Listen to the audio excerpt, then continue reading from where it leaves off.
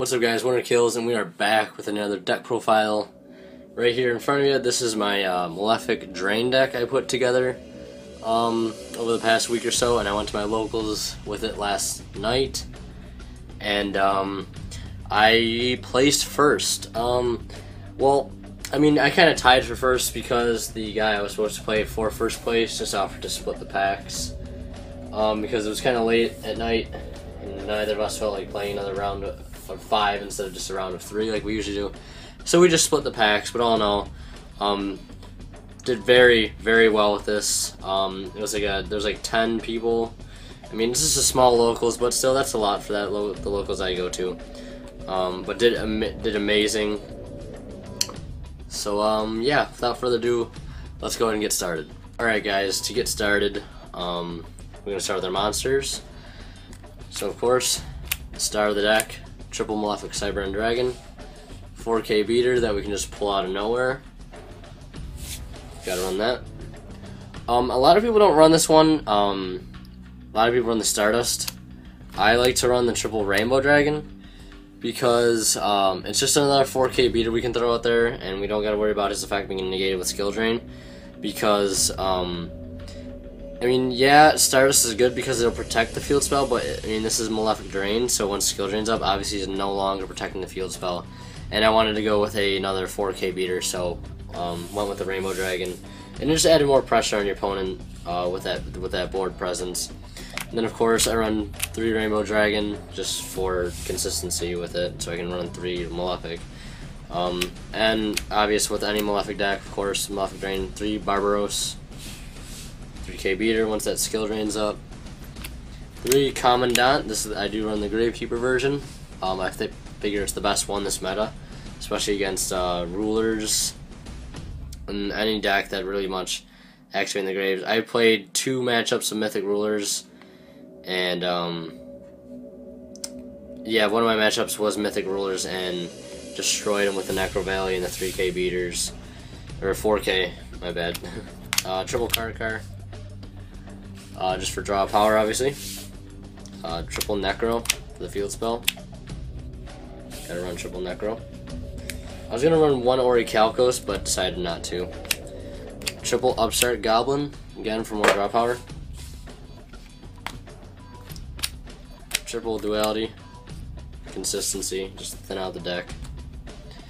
Two Space, um, because I've both match or most of my matchups I played, I got Royal Decree and you do not want that being played up against you. Um, so I just main deck double MST inside of the third one just in case. Um, just because I want to get that that uh, that Royal Decree off the field, obviously, so I can make my plays. It's one thing you gotta watch out for. Uh, one Forbidden Lands. I'm running lands over Royal Tribute right now. Um, I don't know what I should take out. I kind of like the lands better, although during the tournament I did not draw into it too much. But um, I don't know, I was definitely considering whether or not to run Royal Tribute. And then on for the traps, obviously. Course. Uh, three, three skill drains. Two dark bribes. This uh, actually won me my match before the final match. Um, I had Malefic Rainbow out, poke for four, had no answer. Next turn, poke for four again. He had Book of Moon, dark bribed it, and um, basically a two-turn kill. That won me the game. Uh, Mirror Force, double Mirror Force the Monster Hate, and double D Priz. And we main deck one Macrocosmos. Again, this is more pressure on your opponent. Um, it really just stops every deck dead in its tracks. So, uh, obviously, just, you know, one macro. You could run D-Fissure if you really wanted to, but macro just everything getting banished and screws up your opponent's plays for good. Then for the extra deck, obviously, triple Cyber End Dragon. Um, I was going to run number 62, this guy right here. Um, yeah, new mat, by the way. Um, I was going to run him for 8s, uh, because these two, I've had these two up on the field with uh, out skill drain up. And even with skill drain up, um, it'd actually be better for 62 because he needs Galaxy as a material.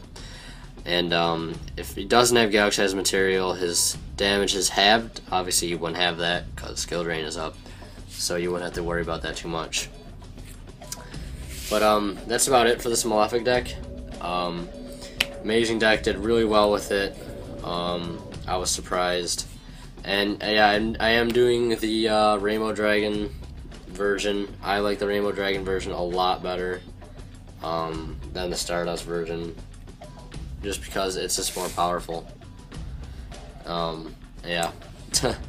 um, yeah, so matchups. I played Exodia, I played uh, Mythic Rulers, I played Psychics. I lost Psychics. But, um, won the first game, and, and then Naturia Beast came out, and it was kind of downhill from there. Um, couldn't use my dualities and stuff like that, everyone let me. But, um, other than that, uh, that's pretty much it for my uh, Malefic Drain deck. Thanks for watching. Uh, more deck profiles to come.